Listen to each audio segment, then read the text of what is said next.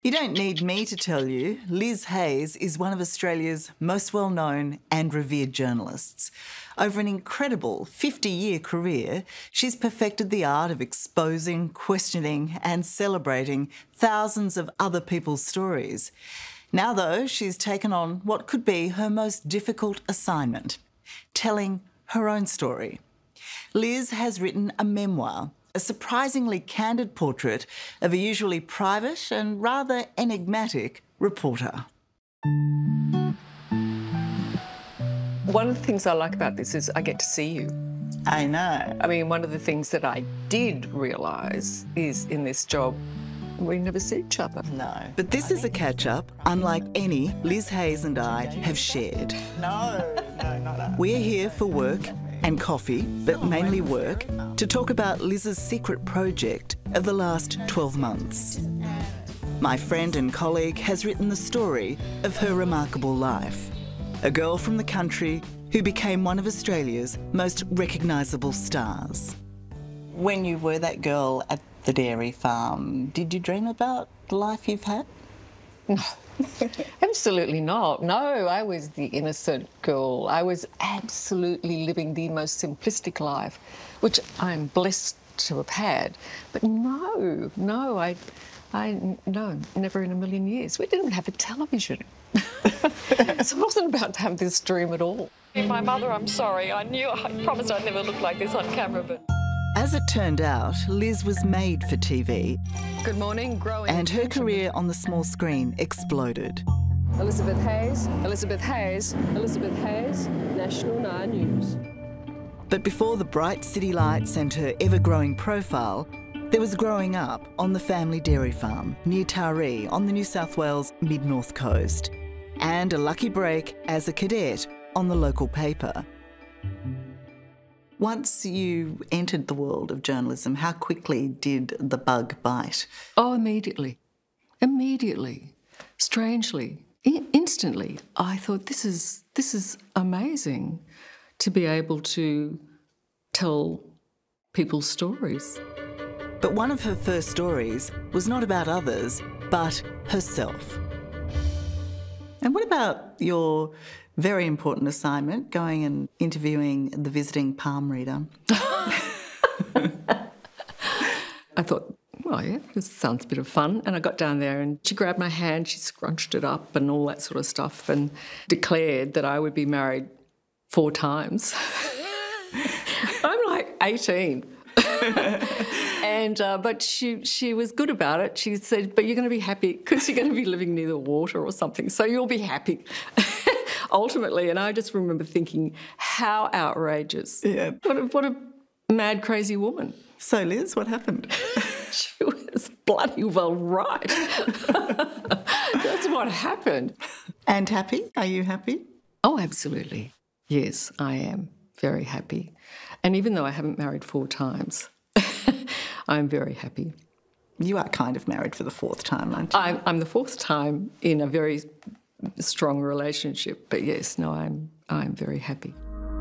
Liz is happily not married to Ben Crane, a former 60 Minutes sound recordist. But before Ben, Liz was married three times in just 10 years, including to quintessential ocker, ad man John Singleton. And Liz Hayes. The failure of those marriages, all Liz's pain and self doubt, was lapped up by a fascinated audience her success making her tabloid fodder. You can't go through that uh, and not come out the other side thinking, okay, what's wrong with me? Well, you say in your book that a, a friend from the country, from mm. home, asked you that question what is wrong with you? I mean, that must have been like a hit to the solar plexus. Of all the comments I got, um, that crushed me, yeah.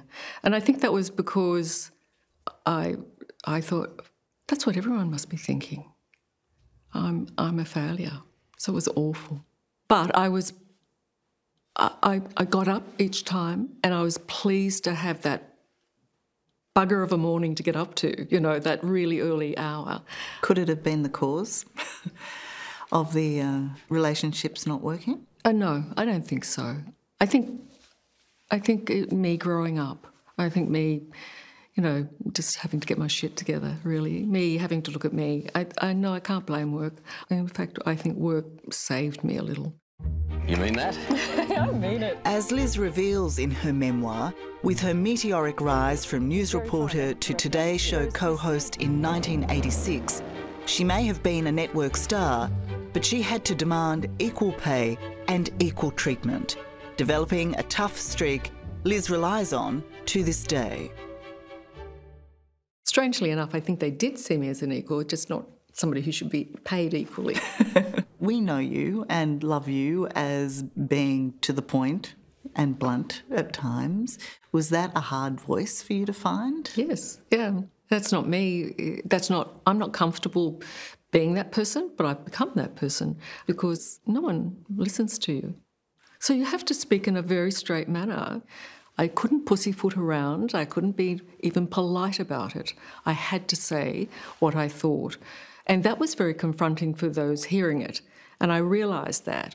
I certainly experienced Liz in full voice, giving her opinions, and uh, she wasn't backward in coming forward. If Liz had a problem with something, you knew about it, but it wasn't rancorous. It was just, this is what I believe, and you guys better take it seriously. She wasn't being a diva. No, she wasn't being a diva. She was just drawing a line in the sand, and and it was good to know. She was direct. Peter Meakin is the legendary former head of Nine's News and Current Affairs. So Liz Hayes still stands out for you? Absolutely. And I like to think that I've worked with many talented people on a number of networks, but she's up there. She's one of the best. In 1996, Peter asked Liz to join the team at 60 Minutes. Why was she a good choice for 60 Minutes? Well, the same reasons she was a good choice on the Today Show. She was warm, she was credible, and people liked her.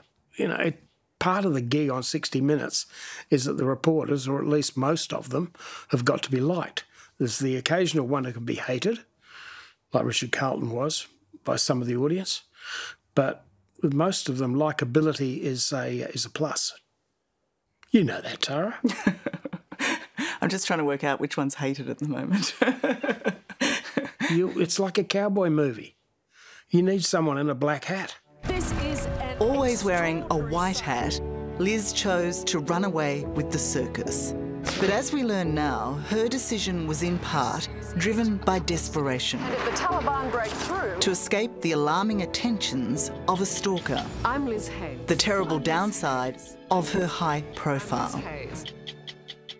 This will sound wrong, but I did decide that it was time for me to stop being on television every day. That sounds like the wrong reason to go to 60 Minutes, but that was part of my thinking was I'm I need to stop being so visible. The scrutiny was that bad? Yes. By now I have someone who's pursuing me, somebody who's and Let's I just- guess I'm talking about a stalker. Yeah, let's talk about Yeah. that for a second. So, how long did he stalk you for? Still. Still. So, a stalker, what they do uh, is rob you of uh, your sense of safety, and that's how it is. And I, that robs me um, of life that I hate having taken.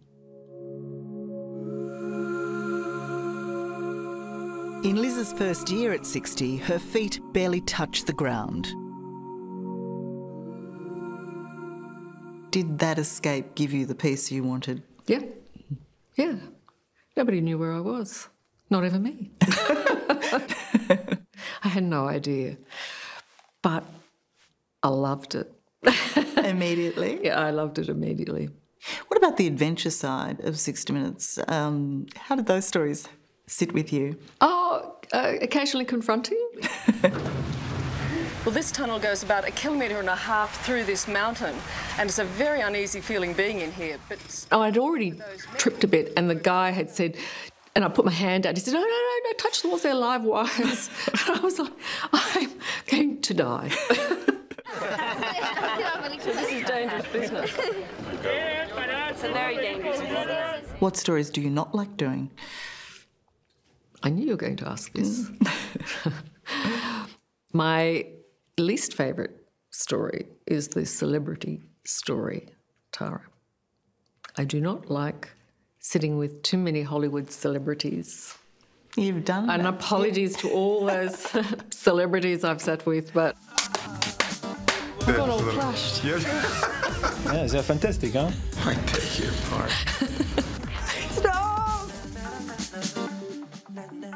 Come on, you sat with George Clooney, what, twice, Oh. I think. oh, oh no, well, ha- hang on, that's that that's not a celebrity. That's a good bloke. that's a that's almost a normal person. On the sexiest, powerful, smartest, beautiful, best dressed, hottest hotties. That's the one I, I wrote that list.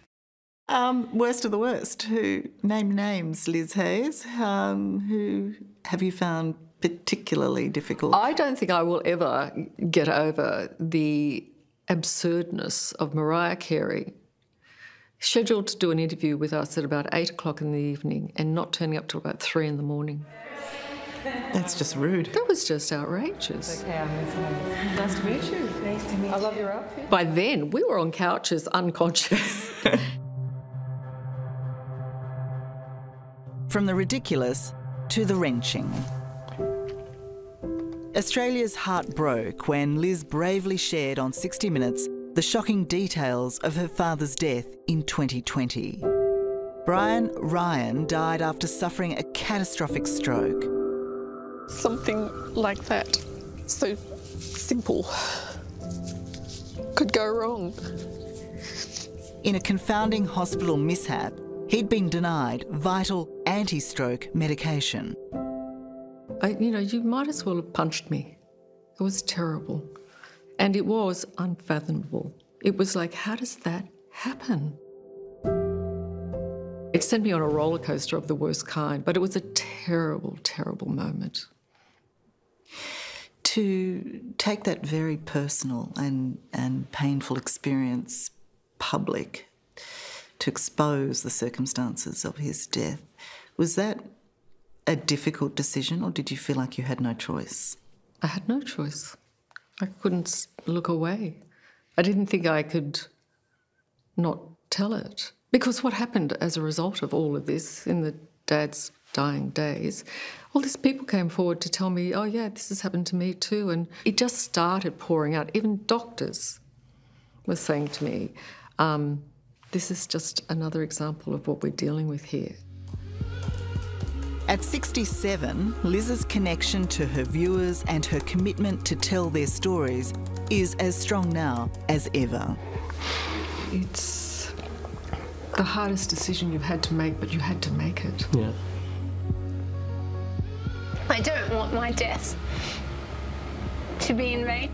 Along with the release of her new book and reporting for 60 Minutes, Good evening, I'm Liz Hayes. Liz also hosts her own show, Under Investigation. For the girl who once didn't have a TV, TV remains her lifelong passion. Under Investigation, still reporting on 60 Minutes, 67. Yeah. The energy, it just keeps coming. I didn't think it would happen, I have to say. I didn't, um, no, I didn't think I'd still be working as I am. But I tell you why I am, because I still love it. I still have the energy for it. I, I like being a journalist. But no, I'm doing it because why not? Why not? Why not? Yeah. Hello, I'm Tara Brown. Thanks for watching 60 Minutes Australia. Subscribe to our channel now for brand new stories and exclusive clips every week. And don't miss out on our extra minutes segments and full episodes of 60 Minutes on 9now.com.au and the 9Now app.